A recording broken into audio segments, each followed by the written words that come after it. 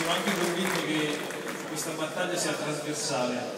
che non riguarda neanche più le parti politiche, che in qualche modo in Italia stia accadendo qualcosa di molto pericoloso e complicato,